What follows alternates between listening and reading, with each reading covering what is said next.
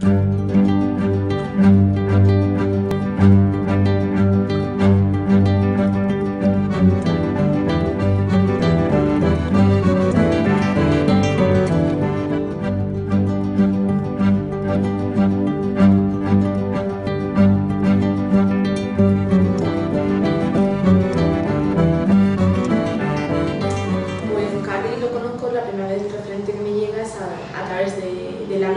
En Costa Rica hace dos años.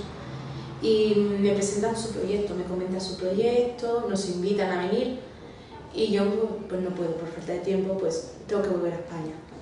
Pero sí que es que las personas que vienen invitadas me lo cuentan y me dicen, tienes que ir, tú encajarías allí, te va a gustar.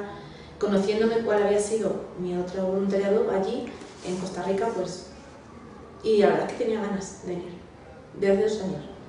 Yo tenía muchas ganas de, de hacer un voluntariado fuera de, de, España, porque había hecho algunos, porque tenía ganas de hacer algunos fuera de España.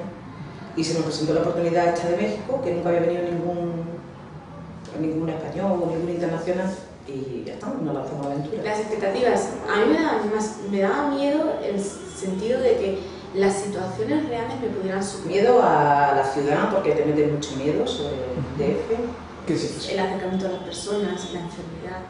Miedo también a, nos, a, a lo mejor no cumplir con las expectativas con, con las que las personas de aquí podían contar contigo, porque al tener a lo mejor una profesión allí, pues se creen que a lo mejor puedes cumplir de una manera que tú no sabes si realmente vas a estar preparado o no. Y por lo que no íbamos a encontrar aquí, porque tampoco sabíamos ni cómo nos iba a coger la gente, ni cómo iba a ser el trabajo, nada. Entonces viene un poco así la aventura. Entonces, eso me dijo, de golpe porrazo, estábamos repartiendo, ve a Lalo y yo el pan y nos dijo, eh, mi hija se está muriendo, tiene cáncer y se está muriendo, pero como gritando a las mujeres dicen, ayudarme. Entonces fue el momento que tú no te lo ves venir porque tú estás repartiendo el café y el pan y estás comentando y, y me superó. Me superó. Una pareja jovencilla que estaban con el niño y supuestamente, bueno, no sabía lo que tenía, o sea, tenía nada más que reflujo, creo que le llaman, o algo así, y no sabían exactamente lo que tenía. Llevan ya mucho tiempo haciendo la prueba.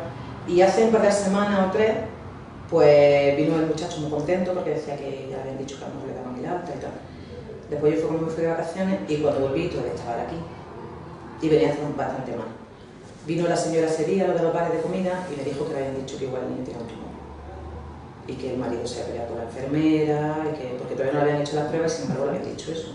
Y entonces la pues estaban bastante mal. Ese día estuve con Kira a la casa del pueblo y también estuvimos allí con ellos, con la pareja esta.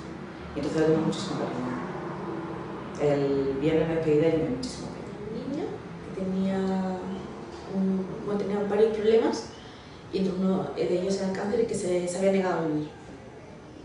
De hecho, la madre la daba ya, decía que, que, para qué, que para qué seguir luchando. El padre en un principio desistió y era la tía la que se hacía cargo.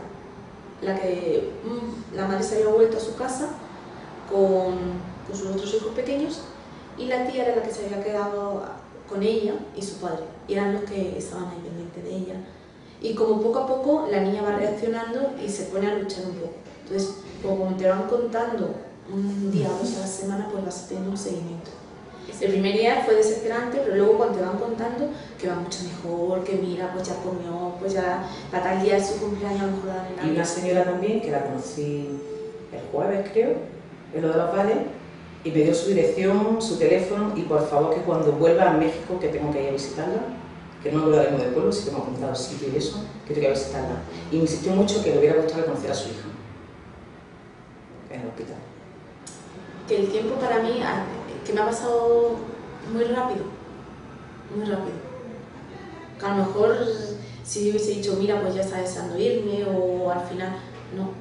Digo, si me hubiese quedado, no sé, tres cuatro semanas más, no me hubiese importado. Yo ya que me llevo aquí bendiciones ya para el resto de mi vida, es verdad, porque toda la gente además te intenta ayudar mucho, te preguntan, porque además la gente también extraña mucho que nosotros somos españolas.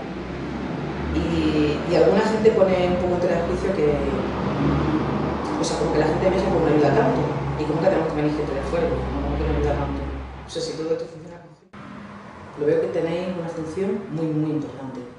Se ayuda muchísimo a la gente.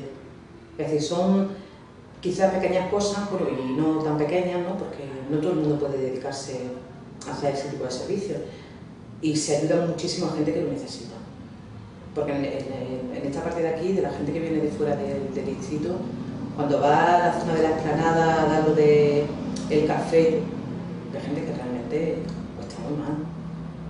Y sobre todo niños que andan sucios, que no sé. Como Cardi, que es todo voluntariado, eh, todo labor altruista, y que aquí eh, tan voluntario es el niño que tiene 8 o 10 años que viene aquí a, empaquetar eh, eh, panes, como una persona mayor que está aquí escuchando igualmente. Y yo le diría que siga luchando por esto, que merece mucho la pena y que me la hace volver. O sea, que dentro de un tiempo seguramente volveré. Me enamoré de Cardi, me enamoré de México, como me dijo Lalo, me enamoré de México. Sí. De aquí en adelante veré a las personas desde otro punto de vista o sea, no teniendo a lo mejor tan en cuenta solo la persona que veo. Yo es que, yo no vine a hacer voluntariado, yo he venido a... El voluntariado normalmente se entiende como que se da, como que tú vienes a realizar. Yo no, yo me he llevado un montón de cosas. Me he llevado un montón de vivencias, un montón de experiencias, el, que la gente haya querido compartir conmigo sus momentos, hayan confiado, yo me llevo muchas cosas. El cardi es para, para vivirlo, no para contar.